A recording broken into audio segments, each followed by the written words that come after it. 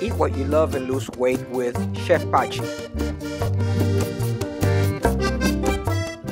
Spicy white rice, Latin style. Hi, today I'm going to show you my trick for eating delicious white rice always. In a pot, place the white rice, 1 cup today, with cloves and peppers. Since the peppers are whole, the rice is going to be lightly spicy. We add the salt, olive oil, and cook over medium heat for 30 seconds.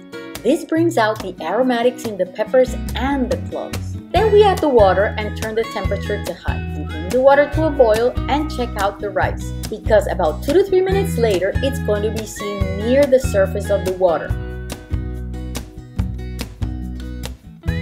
At this point, you watch carefully for one more minute until the rice is almost completely dry and you see little circles of moisture on top. We call these eyes. That is, the rice has made eyes. Then we cover the pot Decrease the heat to minimum very very low and allow it to cook for 15 minutes covered. Not open to check on the rice because this is gonna let all the warmth out and it's gonna take longer to cook. Enjoy spicy and delicious white rice any day.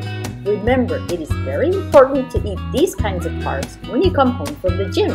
Scroll down for the recipe. You can print it.